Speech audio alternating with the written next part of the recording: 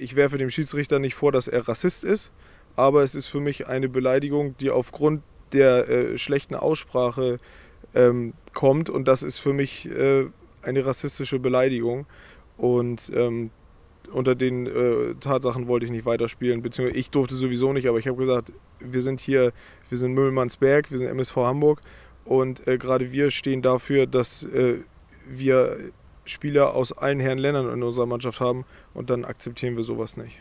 Aus meiner Sicht muss man mal so ein bisschen die Kirche im Dorf lassen. Wenn, äh, ich, sage es mal so rum, wenn ein äh, Schiedsrichter immer, wenn er bei einem Spiel beleidigt wird, den Platz verlassen würde und aufhören würde zu pfeifen, dann würden wir im Grunde genommen in Hamburg fast kein Spiel mehr zu Ende kriegen. Denn durch irgendjemand, ob es ein Zuschauer ist, ein Trainer, ein Spieler, kommt in jedem Spiel irgendwo eine Beleidigung vor. Ähm, dann darf dem Schiedsrichter sowas einfach nicht rausrutschen. Das, ist, das, das darf nicht passieren.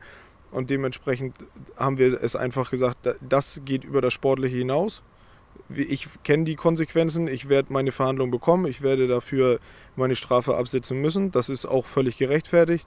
Aber das sehe ich einfach so, dass da der Schiedsrichter soweit immer noch äh, seine Fassung halten muss und sagen muss, da steht er drüber und sowas darf einfach einem Schiedsrichter nicht rausrutschen. Man muss natürlich auch sehen, dass Schiedsrichter auch Menschen sind und äh, auch Menschen mit ihren äh, Charakteren und Menschen mit ihren Fehlern. Und äh, es wird jeder schon erlebt haben, dass wenn ich einen flapsigen Spruch bekomme, auch mal ein flapsiger Spruch zurückkommt. Und da muss halt natürlich der Schiedsrichter die Grenzen kennen. Ganz klar, das, das wird auch so gelehrt.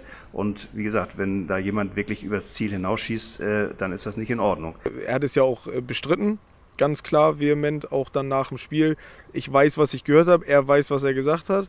Und ich will einfach auch nur, dass da dann auch drauf geachtet wird, dass auch äh, nicht nur die Spieler bestraft werden, weil wenn hätte ein Glinder das laut gesagt und der Schiedsrichter hätte das gehört, der Glinder wäre auch mit Rot vom Platz gegangen.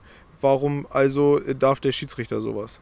Trotzdem äh, gibt es natürlich gewisse Regularien, Dazu, da müssen sich die Spieler dran halten und da müssen sich auch die Schiedsrichter dran halten. Ich bin ja nun selber langjähriger Schiedsrichter und ich habe natürlich eine andere Verantwortung als Schiedsrichter und habe auch eine andere Position. Ich als Schiedsrichter kann mich wehren mit gelben und roten Karten, das können Spieler nicht und insofern habe ich äh, natürlich äh, eine andere Position.